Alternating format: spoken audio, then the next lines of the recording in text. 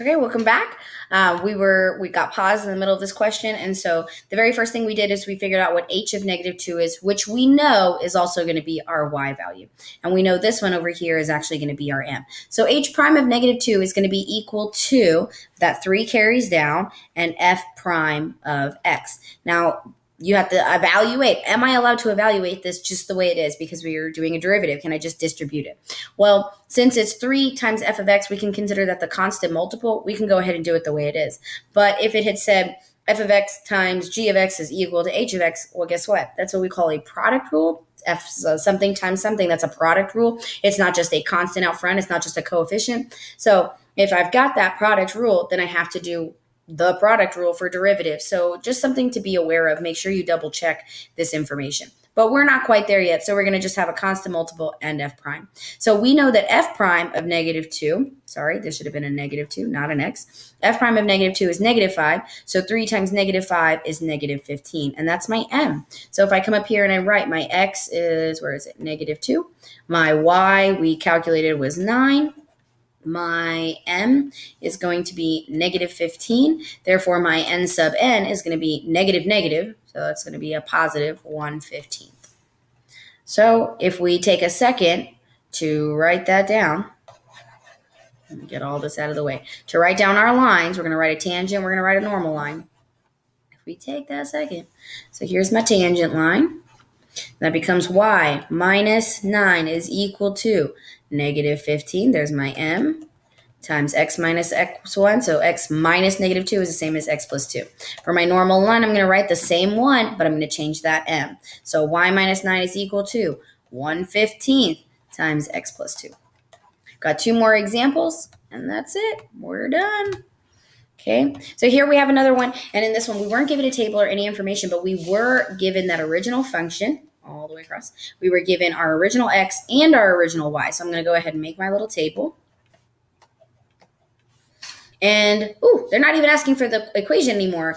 Stop and read our question, right? They're asking us to simply find the slopes. So once I have this little box filled out, we're technically done. So let me get all that out of our way and let's go ahead and get started. We know that this is 9. We know that this is negative 6. Well, where's the only place I can find m, my slope. My slope is my derivative, so the only place I can find it is in f prime. So I go ahead and start with f prime, and that's going to be uh, that constant multiple stays on the outside. This is really, if we pause, we know that that's actually x to the 1 half. So I bring that 1 half down, and I take subtract 1 from my uh, exponent, so that's negative 1 half, minus 2. And if I simplify that down, that becomes, this just turns into a 2 over the square root of x minus 2.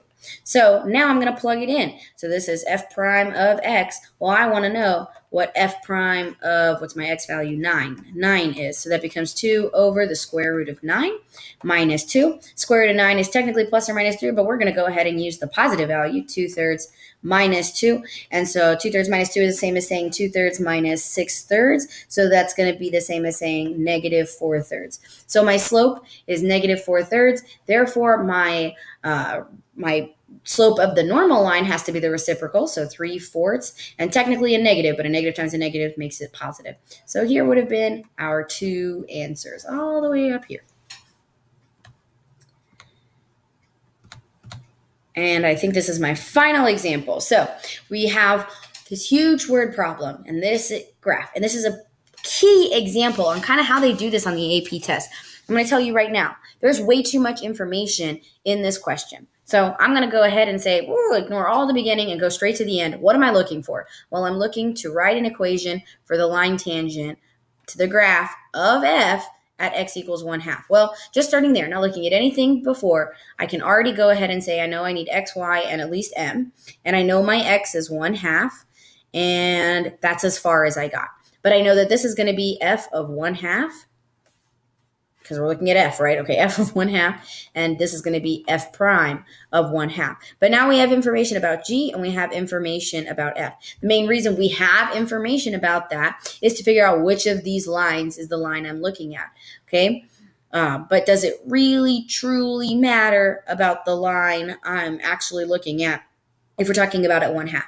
Well, no, not really, because we have an intersection point. So the reality of it is, is technically this first whole little bit isn't a 100% necessary. Yeah, it's it's important information. It's important to know that we're in quadrant 1 because we have all positive values. It's important to recognize that this upper line is actually our g of x and this lower line is our uh, 8x cubed. So this lower line is our f. Okay? So all I really have to do is take my f of x and figure out its prime, f prime of x and what that derivative is. But if I take a moment, I just recognize something on my own graph. I could plug in 1 half right here and get it back. But look at your graph. What did they provide for you magically in that image? They gave you your y value. So they already did one part. All you have to do is figure out the slope. So this becomes 8 times 3, so 24x squared. And we plug in, what was it, 1 half? And that becomes 24 times 1 half squared. Well, 1 half squared is the same as saying 1 half times another 1 half. If I multiply across, that becomes 1 fourth. So that's really 24 over 4, which is uh, 6. So my f prime is actually 6, so my slope is also 6. So now I can take a moment and I can write my full equation. I'm going to erase all this craziness that I did.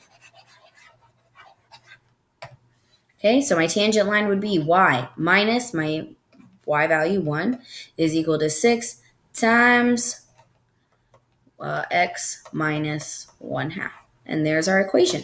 And that's all we did today. So just as a wrap up, just to kind of see exactly what we did, as a wrap up, I brought that first slide back. Again, you really need information about f of x and f prime, or enough information about either of those to find the other. Whether it's in a table form, whether you have the uh, original equation and you can find the derivative, or when we hit second semester, if you have the uh, derivative and you can work backwards to get to that integral, whether whatever you have, as long as you have information enough about both, in order to identify three key things: x, y, and m.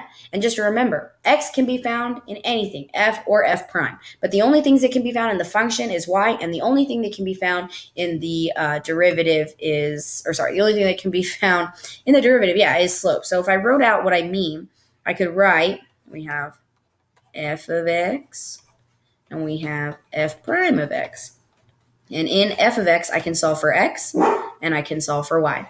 In f prime of x, I can solve for x, and I can solve for slope. That's all I'm trying to say. So if you're looking for y, you have to be looking in the function. If you're looking for m, you have to be looking in f prime. And this was a major disconnect that I saw in the past is that, you know, you guys are trying to plug in your x into a function and get slope. And that's never going to happen. Or you're trying to plug into your x into the derivative and find y. And again, that's never going to happen because you're using two very different equations. And then, of course, a reminder, our normal slope is literally just take your original slope, flip it, and change the sign that's it. And that's all we've got for tangent line equations. I will see you guys in class.